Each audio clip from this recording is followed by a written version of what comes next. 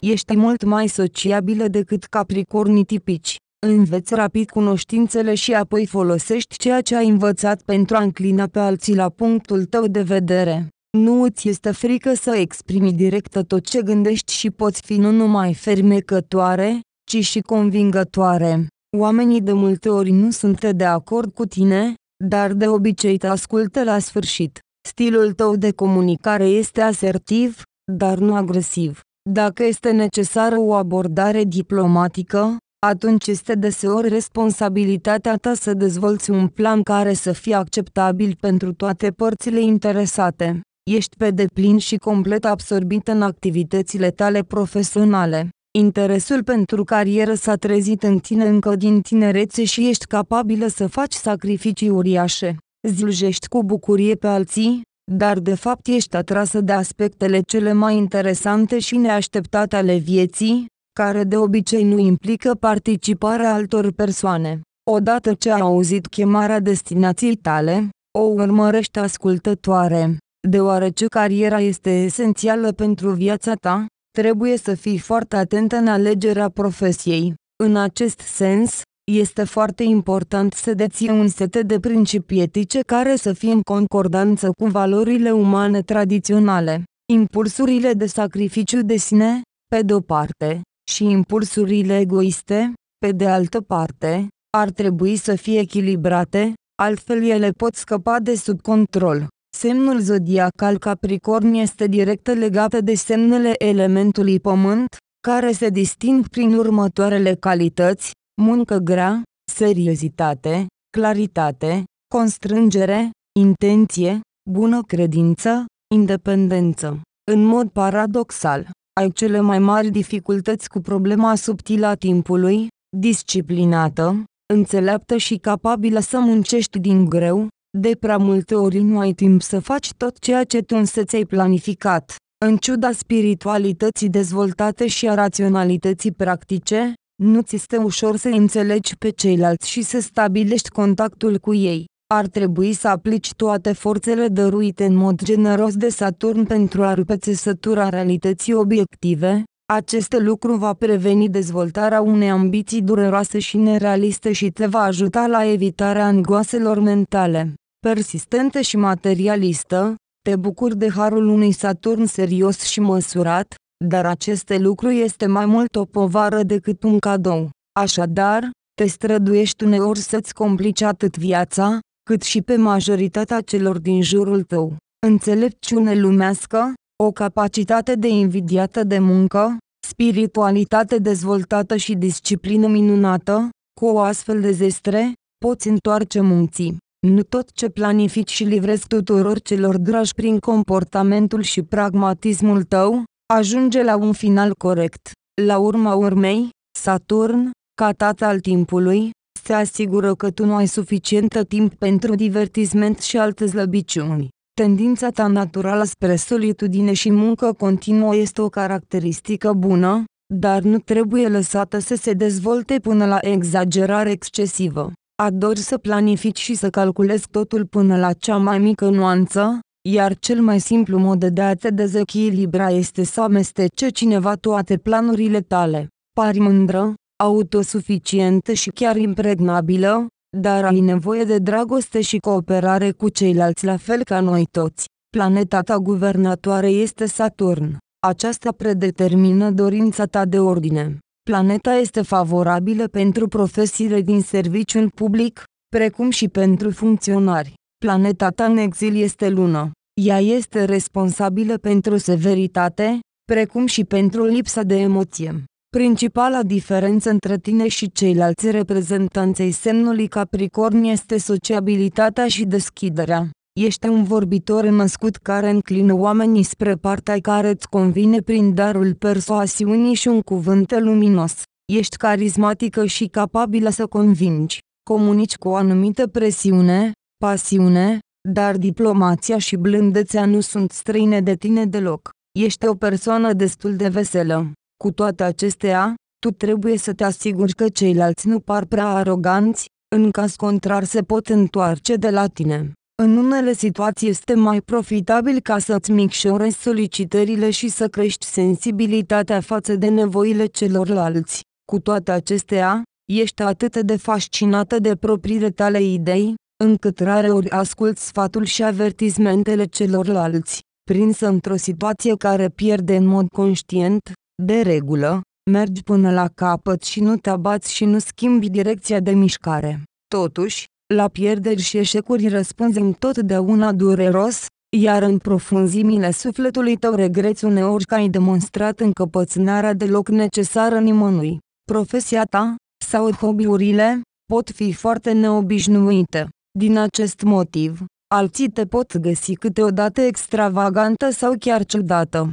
În orice caz, rutina tradițională a vieții este inacceptabilă pentru tine. Cu toate acestea, dacă vei întâlni un astfel de partener, care te echilibrează, poți obține fericire pe termen lung. Ești înzestrată cu astfel de proprietăți, o persoană loială, economică, rezonabilă. Într-un anumit tip de probleme, de exemplu, în nivelul propriului tău prestigiu sau al bunăstării materiale, ești foarte meticuloasă și adesea pedantă. Dacă ești din cele dornice să-ți construiești o carieră de succes, vei fi gata să începi o familie la o vârstă matură. Pentru a obține succesul în viață, trebuie să fii capabilă să te abții cu pricepere și, atunci când situația o cere, să reduci exigențele față de ceilalți, atrăgând atenția asupra capacităților tale și, eventual, asupra problemelor. Cum afectează data de 12 ianuarie soarta ta?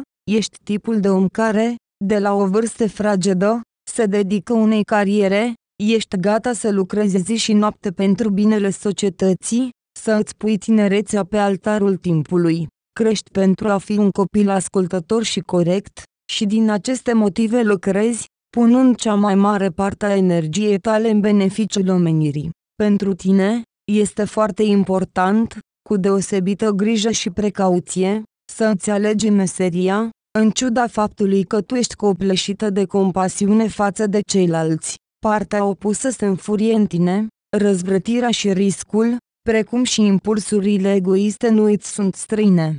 Dacă este să compar toate aceste trăsături, care sunt destul de contradictorii, trebuie să îți spun cu toată responsabilitatea, alegerea profesiei îți va marca întreaga viață în bine. În caz contrar, aceste emoții vor scăpa de sub control.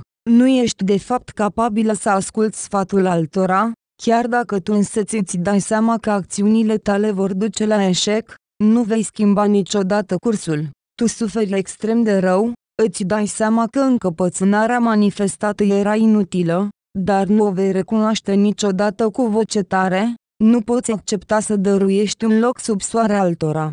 Entuziasmul pentru carieră te face să uiți de viața personală, care, într-un fel sau altul, îi tulbură pe cei dragi care așteaptă cel puțin o mică parte din atenția ta. Prin urmare, a doua jumătate și prietenii apropiați ar trebui să se alăture muncii tale, să fie interesați de domeniul tău de activitate, să devină parte din ea. În caz contrar, îi vei face nefericiți. Te simți uneori vinovată, ceea ce duce la o amortizare a ambițiilor dar poate chiar duce la depresii pe termen lung. Cine nu înțelege succesiunea acțiunilor tale, va fi mereu nemulțumit, așa că ar trebui să studieze caracteristicile personajului născut la 12 ianuarie, pentru a ști cum e mai bine să meargă alături de cea aleasă.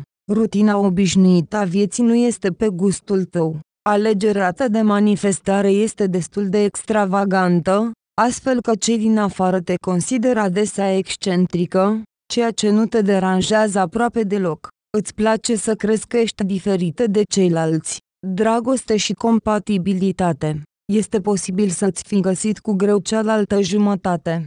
Asta pentru că tu ai principii morale prea mari, care se dezvoltă adesea în tabu. Dacă reușești să te retragi din abstinența ta, tu poți deveni o iubită excelentă, afectuoasă, cinstită și sinceră. Partenerul tău ideal ar trebui să aibă răbdare și moderare, dar nu ar trebui să fie prea liberal. Deși ești o persoană puternică, atunci când apare problema de a găsi sortitul, Cine ți se va potrivi, precum și cel cu care te înțelegi bine, ai nevoie de un sfat. Partenerul ideal pentru tine toate domeniile vieții este taurul. Practicitatea și stabilitatea vor fi fundamentul cel mai puternic al relației voastre. De asemenea, o bună unire te așteaptă cu un alt semn de pământ, Fecioara. Cu Fecioara ești antrenată de dorința unei vieți simple sănătoase, de mâncare gustoasă și sex plăcut. Relații armonioase te așteaptă cu balanța, precum și cu reprezentanții zodiei tale. O relație pe muche de cuțită te așteaptă cu pești și rac. Relațiile cu vărsătorul și leul sunt puternic contraindicate pentru tine, reprezentanții acestor semne sunt persoane cu temperamente prea puternice, prea orientate spre libertate și spre risipirea banilor comuni. Antipodul tău absolut este gemeni, cu care nu ai practic puncte de contact comune. Unul dintre cele mai dificile semne pentru tine este berbecul, a cărui energie furioasă îți demolează literalmente echilibrul și stabilitatea, locuri de muncă și carieră. Dacă te-ai născut în această zi poți face mari sacrificii în favoarea carierei tale. Cel mai adesea, ideea pentru care lucrezi implică slujirea unui singur stăpân, însă viața dispune astfel încât ajungi să lucrezi pentru binele societății. Trebuie să alegi cu atenție cauza vieții tale pentru a nu face o greșeală enervantă. Este inexplicabil când cheltui atât de multă timp la muncă. Este foarte probabil să te identifici adesea cu o idee publică sau politică, care te capturează astfel încât uneori să uiți complet de viața ta personală. În același timp, te poți concentra pe sine atunci când vezi că propria imagine profesională va contribui la succesul tău profesional, de exemplu, în vânzarea unui anumit produs, furnizarea de servicii individuale, în domeniul relațiilor publice, publicitate și altele. Pentru a determina ce vrei să faci, trebuie să compari principiile tale personale cu standardele morale ale societății și să înțelegi ceea ce crezi că este bun și ce nu este și câte de multe idei diferă de cele ale altora. Echilibrează sistemul principiilor tale, sacrificiul de sine pentru binele altora și egoismul, lucrează și pentru tine. În ce proporții vei combina asta? Cu această întrebare este mai bine să decizi înainte de a căuta un loc de muncă și, în mod ideal, înainte de a primi o educație profesională. Observarea ideilor sociale, sau, de exemplu, politice, din moment ce poți fi un politician remarcabil, nu te împiedică să te angajezi în propria ta imagine, concentrându-te asupra personalității tale. Sănătate și boli. Ai tendința de a ignora starea ta de sănătate, cu excepția cazului în care începe să-ți ameninți activitățile profesionale. Prin urmare, se recomandă examinări medicale regulate, semianuale. Vulnerabilitățile tale sunt dinții și hormonii. Destul de des ai probleme cu dinții. Dezechilibrul hormonal, excesul de greutate sau, din potrivă, anorexia, săborea pot provoca îngrijorare. Ritmul bine gândit al vieții va fi de neprețuit în eliminarea acestor tulburări. O dietă echilibrată cu un conținut ridicat de legume și fructe crude, cereale, cu o limitare a grăsimii și a zahărului va ajuta la îmbunătățirea activității intestinelor. Ca exerciții fizice se recomandă doar plimbări lungi moderate, cele mai utile în aerul proaspăt.